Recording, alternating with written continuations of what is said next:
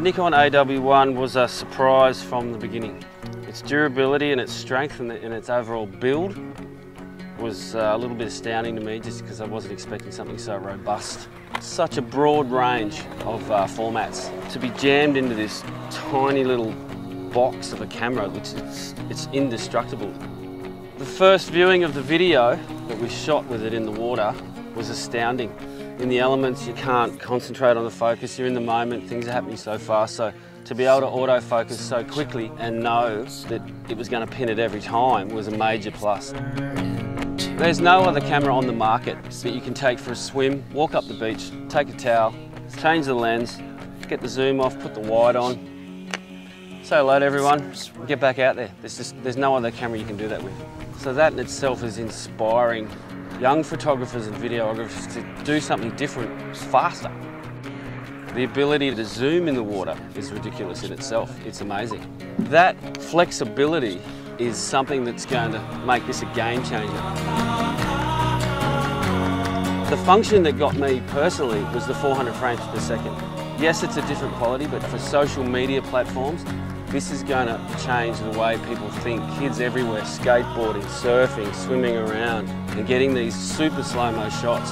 It's incredible, and it's going to sort of create a whole lot more little cinematographers around the world. Even the shots that the talent was shooting are usable. These guys are models, not photographers or videographers. Uh, the vision they shot, perfect.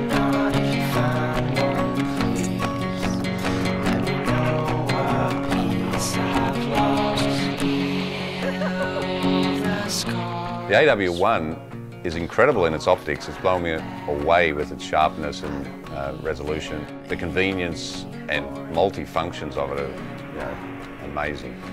Rugged, indestructible.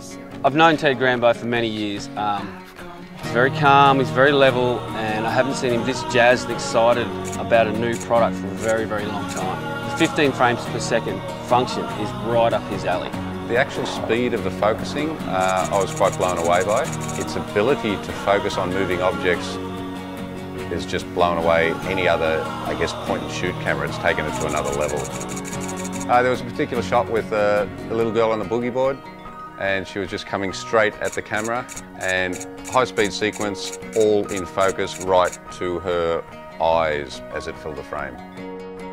Some key shots that stood out to me from Ted. Nikki, the female model on the first day, paddling, five shots, water droplets, crystal. Her eyes were pinned as well.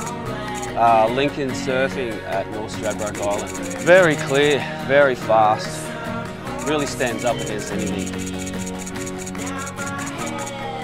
Drones and remote control helicopters are a part of photography and videography in this day and age. They're becoming commonplace, they're everywhere. But with this camera, it's so light and easy to use, it increases battery time. And the shots we got from it surprised everyone so far. So I'm really impressed with the optics of this camera.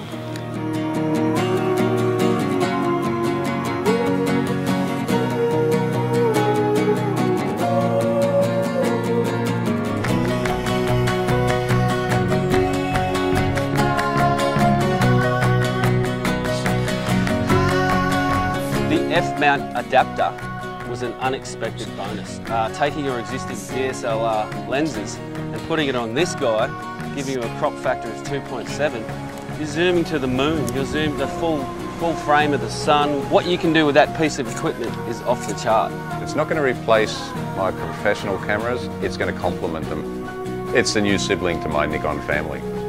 It's so small, it doesn't take any room, it's always in our bags. We take it everywhere we go.